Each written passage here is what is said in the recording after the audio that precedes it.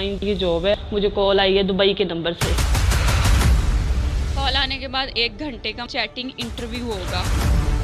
उसके बाद उन्होंने कहा कि आपका इंटरव्यू होगा फिजिकली बताया कुछ है और हुआ कुछ है।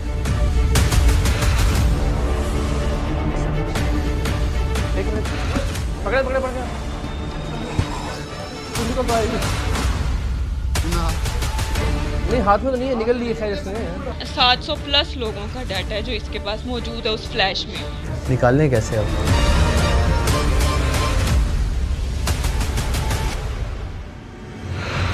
पचास बार आपको फ़िज़िकल होना पड़ेगा हाँ आके जी। मिल के और एक लड़की देनी पड़ेगी। बिल्कुल सर खुद को सेव करने के लिए मतलब इस जैसे वो कहता था मुझे करना पड़ रहा था।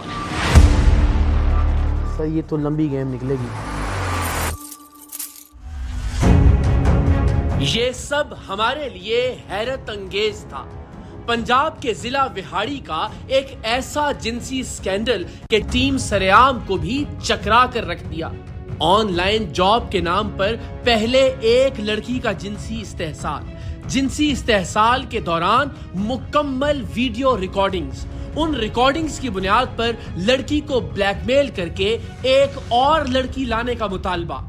उस लड़की को भी ऑनलाइन जॉब का झांसा जिनसी इस्तेहसाल वीडियो रिकॉर्डिंग ब्लैकमेलिंग और उस लड़की से भी एक और लड़की लाकर हवाले करने का मुतालबा। नहीं पचास बार आपको फ़िज़िकल होना पड़ेगा हाँ आके जी। मिल के और एक लड़की देनी पड़ेगी। बिल्कुल सर। अपनी सिस्टर दे दो तुम्हारी जान छूट जाएगी। खुद को सेव करने के लिए मतलब इस जैसे वो कहता था मुझे करना पड़ रहा था।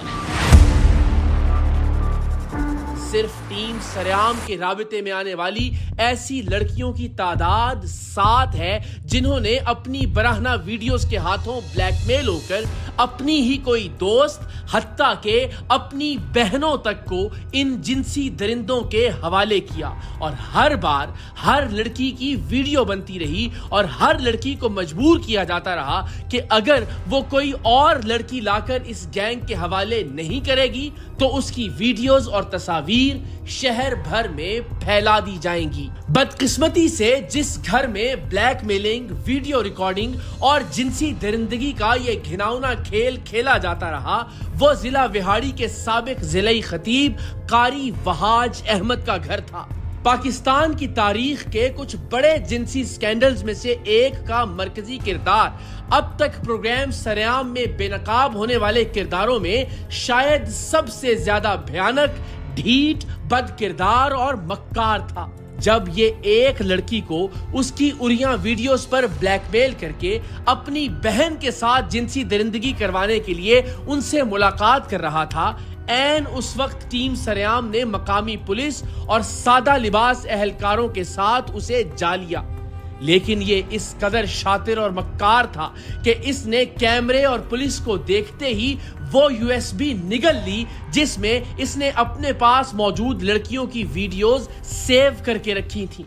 और वो इन दोनों बहनों को इस यूएसबी में मौजूद वीडियोस दिखाकर डरा भी रहा था और साथ ही साथ ये यकीन भी दिला रहा था कि अगर वो दोनों इसकी बात मानेगी तो वो इनकी वीडियोस डिलीट कर देगा।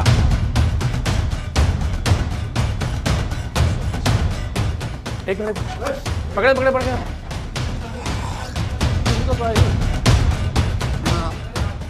नहीं, हाथ तो नहीं है निकल ली है खैर इसने।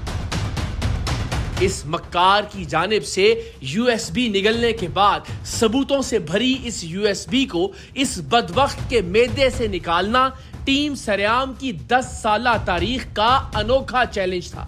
और पुलिस और मकामी अस्पताल के सर्जन के लिए भी एक हैरान कन वाक़ था। आज के सरेआम में ये हैरान कुन तफसीलात शामिल हैं, लेकिन सबसे पहले इस छोटे से शहर विहाड़ी की उस बहादुर लड़की से मिलिए कि जिसने हिम्मत करके टीम सरेआम से राबिता किया और इस भयानक जिनसी माफिया को बेनकाब करके अपने जैसी न जाने कितनी जिंदगियों को बर्बाद होने से बचा लिया। जरा मुझे बताइए कि कैसे ये सिलसिला शुरू हुआ है? बिल्कुल आगाज़ से। है मेरी दोस्त। ठीक यूनिवर्सिटी की स्टूडेंट और मैं भी यूनिवर्सिटी के स्टूडेंट और आपका तारुफ उस पहली बार उससे वहीं हुआ? नहीं फ़र्स्ट सेमेस्टर से वी आर बेस्ट फ्रेंड्स ठीक है। आल्सो तो ऐसे ही बस उसने एक दिन मुझे कहा कि अगर जॉब करनी है तो कोई जॉब है अगर तुम करना चाहो तो मैं तुम्हें इंट्रोड्यूस करवा देती हूँ अगर तुमने जॉब करनी है। मैंने कहा ठीक है बताओ ऑनलाइन जो है ना ये जॉब है पैसेंजर्स जो है होते हैं उनके साथ आपने कम्युनिकेट रहना है जब उनकी फ़्लाइट्स मिस हो जाती हैं। मैंने एग्री किया। उसके बाद फिर उसने मुझे कहा कि तुम्हें ना कहती थोड़ी देर के बाद तुम्हें इंटरव्यू के लिए कॉल आएगी तो कॉल तुमने रिसीव करनी है। दुबई के नंबर से तुम्हें कॉल आएगी। तो मैंने कहा क्या नाम है तुम्हारे? जो जो आपके जो सर बॉस जो मैनेजर वाट उसका क्या नाम है? उसने कहा उसका असद बिन मलिक नाम है और वो आपको कॉल करेगा और वो तुम इंटरव्यू होगा। तुम्हें बात करने का अंदाज अगर ठीक लगेगा अगर लगेगा कि इस बच्ची में कॉन्फिडेंस है तो लेंगे। ओके हम्म, है। ठीक है। मुझे कॉल आई है दुबई के नंबर से। व्हाट्सएप पे? व्हाट्सएप पे तो वो इंट्रोडक्शन हुआ है आपका नाम है। आप एग्री हैं इस जॉब के लिए? मैंने कहा जी मैं एग्री हूँ। टेस्ट होगा आपका और उस टेस्ट के बाद कम्युनिकेशन हम आपकी स्किल्स चेक करेंगे। आप में कितनी कम्युनिकेशन स्किल्स हैं हम सारा कुछ पहले देखेंगे। उसके बाद आपकी जॉब फाइनल होगी। ठीक है। उसके बाद उन्होंने कहा कि आप जो है ना वो वेल एजुकेटेड है आप ठीक हैं। आपका फिजिकली इंटरव्यू पहले होगा तो उसके बाद आपकी जॉब फाइनल होगी। हम्म, मैंने कहा कि आपने ये बात की है कि जॉब ऑनलाइन है तो फिर इंटरव्यू फिजिकली क्यों होगा? तो सारी ये बातें मैं क्वेश्चनिंग इस तरह की से करती थी क्योंकि उनका उनके साथ नहीं हाँ, करती थी। मैंने कहा कहाँ है उनका प्लेटफॉर्म कहाँ पे जाना है? बताओ मुझे। तो वो कहती कि वो बता देंगे वो वो यहाँ के लोग नहीं हैं। वो आउट ऑफ़ सिटी से इंटरव्यू करने आते हैं वो यहाँ के नहीं हम्म। हैं तो आप तुम फाइनल करो। पहले तो मैंने बड़ा कहा मैंने नहीं जाना मैंने नहीं जाना क्योंकि मेरी फैमिली को इस बारे में बिल्कुल कुछ पता नहीं था। मैंने कहा मैं ऐसे कुछ भी कुछ भी को, कोई भी बात हो सकती है। लेकिन उसने मुझे कॉन्फिडेंस में ही रखा। और ज़ाहिर फिर दोस्त थी आपकी तो मेरी दोस्त थी मुझे उस पर हंड्रेड मुझे उस पर ट्रस्ट भी था मेरी दोस्त है मेरी बेस्ट फ्रेंड है। वहाँ पे गए हैं जब हम उसने लोकेशन जो है जैसे मैंने कहा कहाँ जाना है? मैंने कहा कि वो मुजफ्फराबाद से वो लोगों ने भी ऐसे कहा, मैंने उनसे भी पूछा, आपने कहाँ मतलब कहाँ हमने आना है इंटरव्यू के लिए? उन्होंने कहा मुजफ्फराबाद से हम लोग आ रहे हैं। तो यूनिवर्सिटी चली गई हूँ मैं। अपनी यूनिवर्सिटी ने मुझे कॉल की है कि आप जो है वो आए और कहाँ पे हैं? मैंने कहा, मुझे ये यूनिवर्सिटी के सामने से पिक कर ले। तो कहती, ठीक है। जब मैं गाड़ी के अंदर बैठी हूँ तो फ्रंट पे एक ड्राइवर था।